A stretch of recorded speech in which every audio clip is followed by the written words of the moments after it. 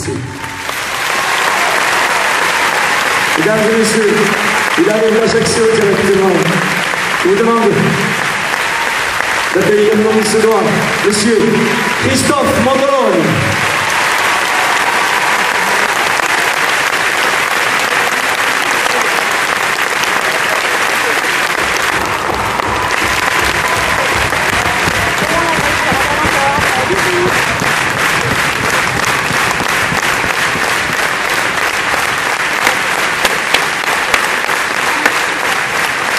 Je te souhaite encore 100 ans de carrière parce que c'est toi le grand monsieur, l'ambassadeur de la Corse, c'est toi.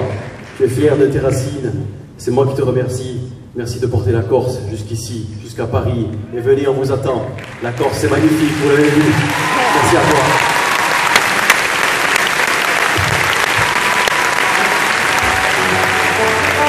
Et bien sûr, il y a Marseille.